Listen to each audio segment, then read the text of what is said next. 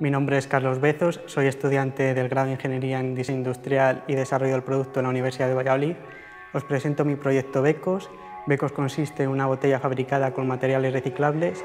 Con este envase se busca dar una alternativa a las botellas de plástico fabricadas en PET, tratando de aportar una solución respetuosa con el medio ambiente. Es un envase que no contiene ningún material contaminante la botella está fabricada casi en su totalidad con celulosa moldeada, material semirígido obtenido a partir de la pasta de papel. En su diseño se han tenido en cuenta aspectos ergonómicos para hacer de Becos un producto atractivo y de fácil manejo. Está formado por tres partes, como se muestra en el prototipo realizado con una impresora 3D.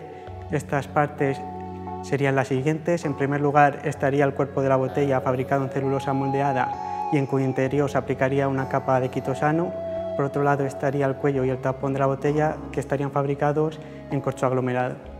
Con el desarrollo de este envase se trata de fomentar sobre todo la reducción de la contaminación generada por los desechos plásticos en el océano.